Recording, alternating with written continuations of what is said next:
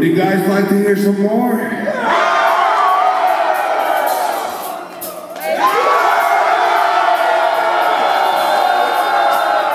All right. All right. Got a couple more songs for you out there.